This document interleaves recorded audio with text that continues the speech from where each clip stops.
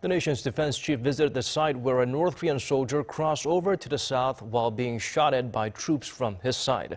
The minister praised the allies serving on the border area for their swift response. Here's Kim Hyun-bin with the details.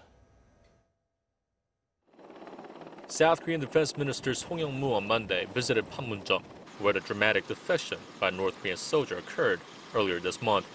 Song toured the Joint Security Area Guard Unit's second observation post right beside the military demarcation line separating the two Koreas.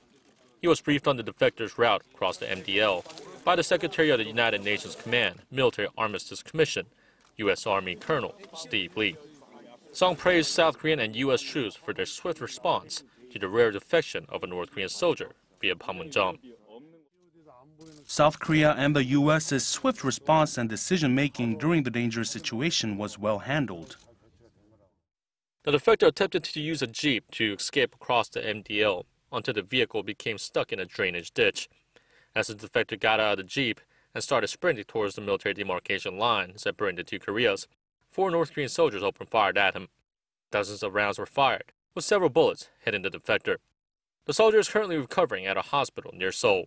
The JSA has served as the venue for negotiations between the two Koreas under the jurisdiction of the United Nations Command since the Armistice Agreement was established in 1953. Kim Hyun-bin, Arirang News.